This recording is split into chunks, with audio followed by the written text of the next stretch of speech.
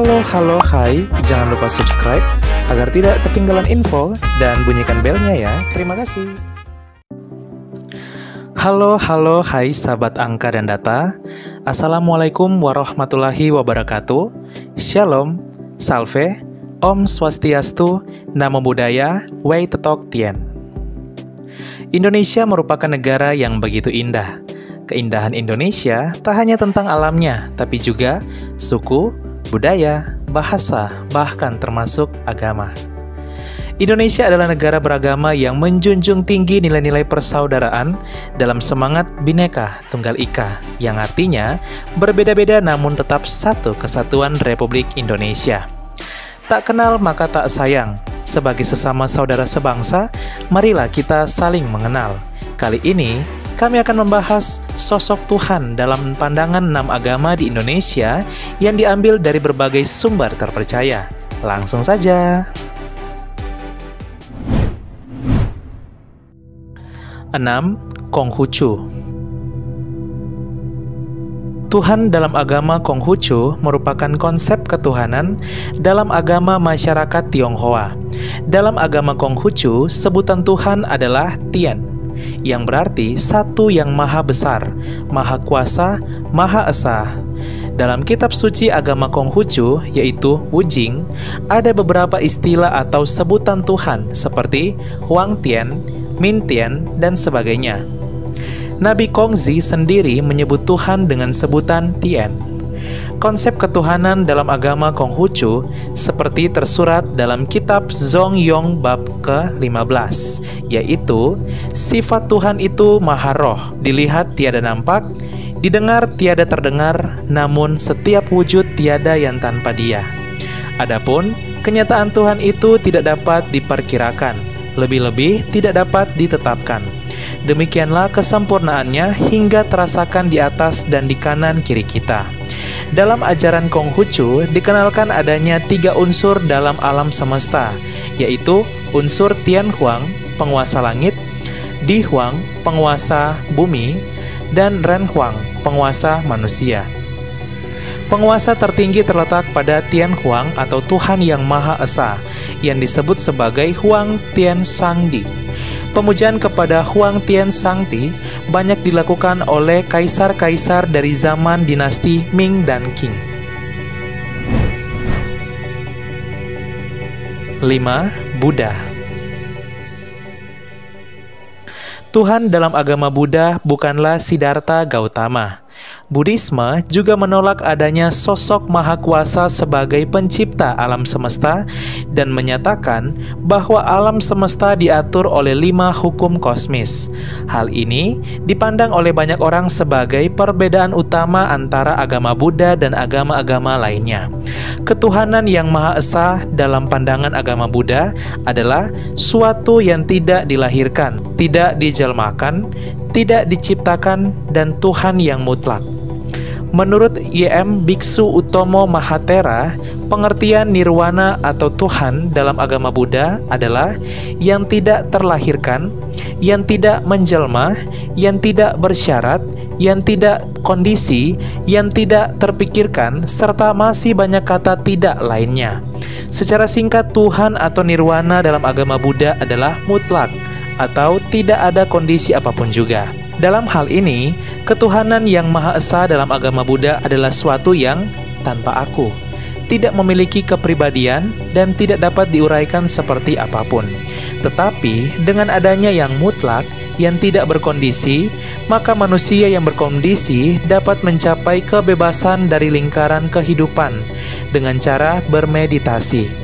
Umat Buddha menerima keberadaan makhluk hidup di alam yang lebih tinggi, yang dikenal sebagai dewa.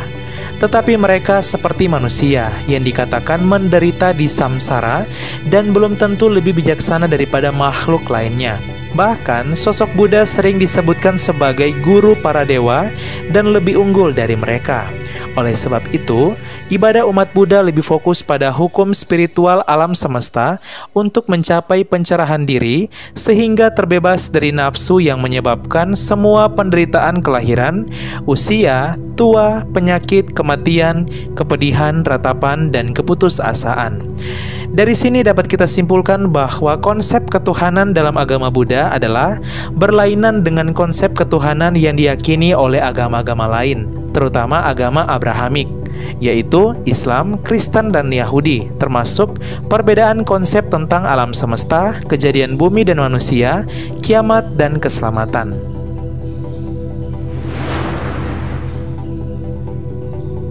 Empat, Hindu agama Hindu tidak memiliki banyak Tuhan. Di dalam kitab Weda dijelaskan Tuhan itu satu. Hanya saja orang-orang menyebutnya dengan berbagai nama. Tuhan dalam agama Hindu disebut sebagai Brahman dan Sang Hyang Widi. Selain itu, pada dasarnya ketuhanan dalam agama Hindu adalah kepada Tuhan yang Maha Esa, tetapi sistem ketuhanannya terkoordinasi dalam konsep ketuhanan Trimurti. Trimurti ini terbagi kepada tiga sifat, yaitu Brahman, Wisnu, dan Siwa. Tuhan dalam pemahaman Hindu adalah Maha Ada, Maha Tak Terbatas. Tuhan ada di mana-mana, ada di keberadaan manusia, pohon-pohon, batu-batuan, dan lain-lain yang tidak dapat dibatasi keberadaannya. Tuhan bersifat rohani, bukan jasmani atau materi seperti manusia atau alam. Di dalam kitab suci Hindu diandaikan Tuhan itu seperti api yang ada di dalam setiap kayu yang terbakar, atau seperti listrik yang menghidupkan dan menggerakkan semua alat-alat elektronik yang ada di rumah kita. Bagaimana dengan para dewa? Kata dewa berasal dari bahasa Sanskerta yang berarti yang memberi. Tuhan juga adalah dewa karena Dia memberi seluruh dunia. Orang terpelajar yang memberikan ilmu pengetahuan kepada sesama manusia adalah juga seorang dewa. Matahari, bulan, dan bintang-bintang adalah para dewa, karena mereka memberikan cahaya bagi seluruh ciptaan. Ayah, ibu, dan pembimbing spiritual juga para dewa. Bahkan seorang tamu adalah dewa. Kalau diandaikan matahari adalah Tuhan, sinarnya yang tak terhitung jumlahnya itu adalah para dewa. Jadi, para dewa itu sebenarnya adalah nama-nama Tuhan di dalam fungsinya yang terbatas. Misalnya, Brahma adalah nama Tuhan dalam fungsinya sebagai pencipta. Wisnu adalah nama Tuhan dalam fungsinya sebagai pemelihara, dan Siwa adalah nama Tuhan dalam fungsinya sebagai pelebur. 3. Kristen Katolik Dalam agama Katolik, konsep Tuhan disebut Allah Tritunggal atau Trinitas yang berarti satu Allah namun memiliki tiga pribadi.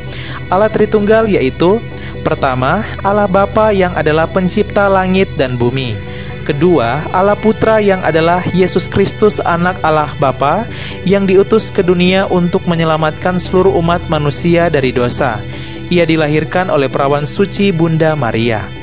Ketiga, Allah Roh Kudus yang turun ke atas para rasul dan setiap umat beriman setelah 10 hari kenaikan Yesus ke surga atau pada hari Pentakosta untuk menuntun dan membimbing umat beriman di dunia kepada jalan kebenaran. Analogi simpelnya sebagai berikut. Matahari adalah Allah Bapa. Cahaya yang dipancarkan ke dunia adalah Allah Putra atau Tuhan Yesus yang menjelma menjadi manusia. Dan kehangatan panas yang dirasakan oleh manusia di dunia adalah Allah Roh Kudus. Meski memiliki tiga pribadi, namun mereka tetap satu kesatuan, yaitu Allah Tritunggal Maha Kudus dan Allah yang Maha Rahim, atau Allah yang penuh kasih dan pengampunan. Tritunggal adalah Allah yang satu, dapat dilihat dalam Katekismus Gereja Katolik nomor 253. Pribadi ini tidak membagi-bagi kealahan seolah-olah masing-masing menjadi sepertiga, namun mereka adalah sepenuhnya dan seluruhnya.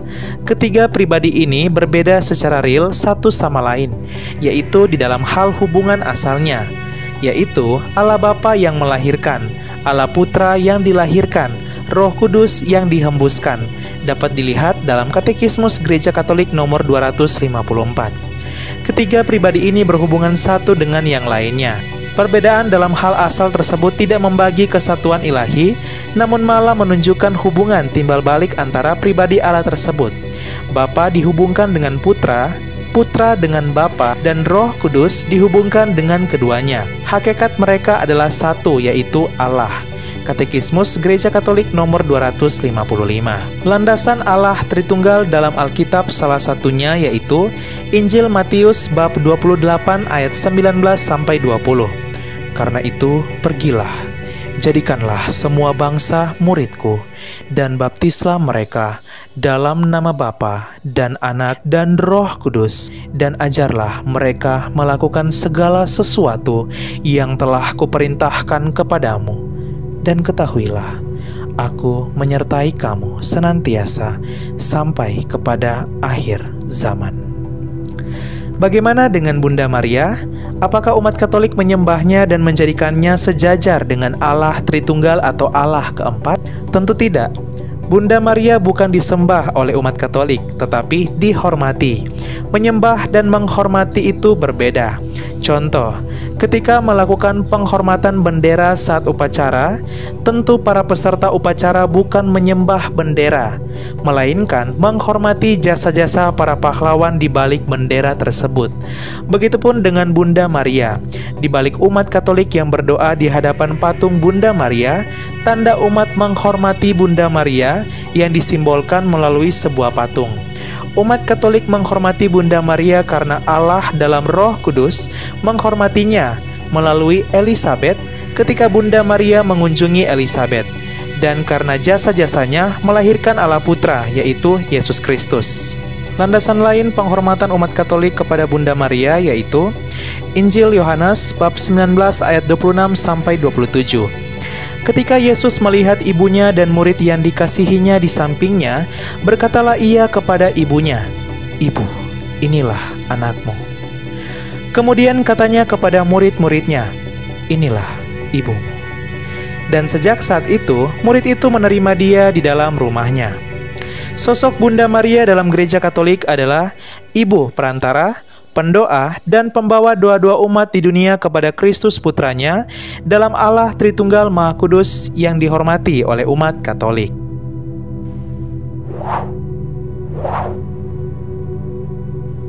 Dua, Kristen Protestan Sosok Tuhan dalam agama Kristen Protestan sama dalam agama Kristen Katolik karena keduanya bersaudara dalam satu iman. Hanya saja berbeda cara beribadah dan teologi. Ajaran Allah Trinitas dalam gereja Protestan yang secara harfiah berarti tiga serangkai menyatakan bahwa Allah adalah tiga pribadi yang sehakikat, yaitu Bapa, Anak, dan Roh Kudus sebagai satu Allah dalam tiga pribadi ilahi. Ketiga pribadi ini berbeda, tetapi merupakan satu substansi, esensi, atau kodrat. Analogi simpelnya yang lain yaitu sebuah segitiga, meski memiliki tiga sudut yang berbeda-beda, namun tetap satu kesatuan. Begitupun dengan Allah dalam gereja Protestan. Setiap pribadi menempati tiga sudut yang berbeda-beda, namun satu kesatuan yaitu Allah Trinitas. Tuhan Yesus diutus oleh Bapa ke dunia untuk menebus dosa seluruh umat manusia. Dan setelah kenaikannya ke surga, Roh Kudus dicurahkan kepada setiap orang yang percaya melalui baptisan kudus. Landasan Allah Trinitas seperti dalam Matius pasal 3 ayat 16 sampai 17. Sesudah dibaptis, Yesus segera keluar dari air, dan pada waktu itu juga langit terbuka, dan ia melihat roh Allah seperti burung merpati turun ke atasnya. Lalu terdengarlah suara dari sorga yang mengatakan, Inilah anakku yang kukasihi, kepadanyalah aku berkenan. Meski sama-sama menyembah Allah Trinitas atau Tritunggal, perbedaan mendasar antara gereja Protestan dan gereja Katolik yang dapat dilihat yaitu gereja Katolik menekankan penghormatan khusus kepada Bunda Maria yang adalah ibu yang telah melahirkan Tuhan Yesus atau Allah Putra ke dunia yang menjelma menjadi manusia. 1. Islam Dalam konsep Islam, Tuhan disebut Allah dan diyakini sebagai zat maha tinggi yang nyata dan esa, pencipta yang maha kuat dan maha tahu, yang abadi, penentu takdir dan hakim bagi semesta alam. Agama Islam menekankan pada konseptualisasi Tuhan sebagai yang tunggal dan maha kuasa. Dia itu wahid dan esa, maha pengasih dan maha kuasa. Menurut Al-Quran, terdapat 99 nama Allah yang mengingatkan setiap sifat-sifat Tuhan yang berbeda. Semua nama tersebut mengacu pada Allah Subhanahu wa Ta'ala, nama Tuhan Maha Tinggi dan Maha Luas. Di antara 99 nama Allah tersebut, yang paling terkenal dan paling sering digunakan oleh umat Muslim adalah Allah yang Maha Pengasih atau Ar-Rahman dan Maha Penyayang atau Ar-Rahim penciptaan dan penguasaan alam semesta dideskripsikan sebagai suatu tindakan kemurah hatian yang paling utama untuk semua ciptaan yang memuji keagungannya dan menjadi saksi atas keesaannya dan kuasanya. Menurut ajaran Islam, Tuhan muncul di mana pun tanpa harus menjelma dalam bentuk apa pun. Seperti yang dijelaskan di dalam Al-Quran, Surah Al-An'am ayat 103. Dia tidak dapat dicapai oleh penglihatan mata, sedang Dia dapat melihat segala yang kelihatan, dan Dialah yang Maha Halus lagi Maha Mengetahui. Tuhan dalam Islam tidak hanya Maha Agung dan Maha Kuasa, namun juga Tuhan yang personal. Menurut Al-Quran, Dia lebih dekat pada manusia daripada urat nadi manusia. Dia menjawab bagi yang membutuhkan dan memohon pertolongan jika mereka berdoa padanya. Di atas itu semua, dia memandu manusia pada jalan yang lurus, jalan yang diridohinya. Ya, sahabat angka dan data, itulah dia sosok Tuhan dalam pandangan enam agama resmi di Indonesia. Wow, indah ya. Walau kita berbeda-beda namun kita tetaplah satu bangsa Indonesia. Semoga Tuhan yang Maha Esa selalu menjaga dan melindungi bangsa kita Indonesia serta selalu menguatkan iman kita. Sekian dan terima kasih.